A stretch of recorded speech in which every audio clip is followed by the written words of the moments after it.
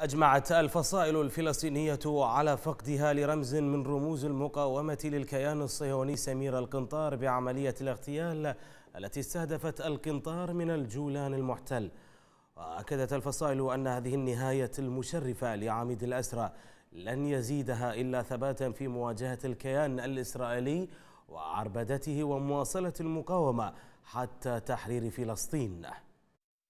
تنديد واسع بين الفلسطينيين شعبيا وسياسيا لاغتيال القائد الكبير في المقاومة اللبنانية سمير القنطار. الفصائل وصفت العملية بالجريمة النكرة التي لن تزيد المقاومة إلا إصرارا على مواصلة ذات الضرب الذي اختاره القنطار أسيرا وشهيدا.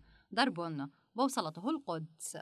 ما كان لهذا الرجل أن يغتال بهذه الطريقة من قبل كيان العدو إلا أنه آلمهم كثيرا حتى في اللحظات الأخيرة قبل استشهاده وهذا دليل قاطع على أن بوصلة سمير القنطار لا زالت نحو فلسطين.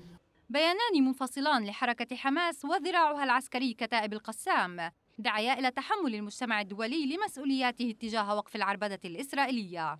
لكن اغتيال القنطار يتجاوز الجوانب السياسية بالنسبة للمحرر الفلسطيني جبر وشاح والذي يحتفظ بذكريات وطنية مع الشهيد الذي اعتقل معه لعشرات السنين.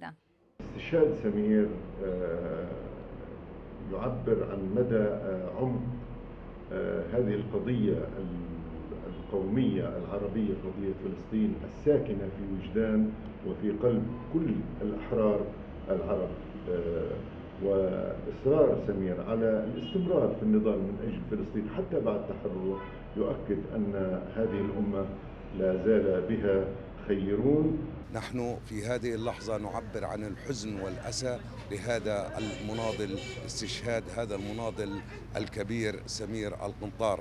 أنا شخصيا عايشته داخل السجون وتحديدا في سجن عسقلان وعرفت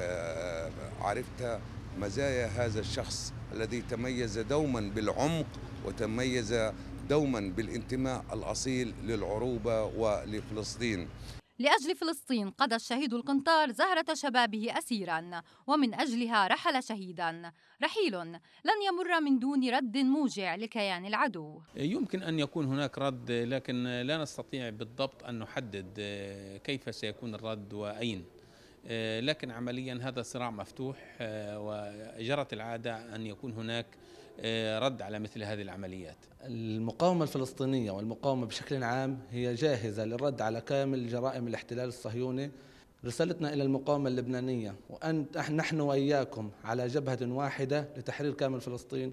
حزن كبير بين الفلسطينيين لفقدان المقاومة ركنا أساسيا لكن عزاءهم في إصرار من بعده على مواصلة المقاومة حتى تحرير فلسطين. الأسر في فلسطين المحتلة والحرية كانت في لبنان والشهادة في سوريا. وما بين الأسر والحرية والشهادة تبقى القدس هي البوصلة وفلسطين القضية. غدا خالد لتلفزيون الكوت قطاع غزة.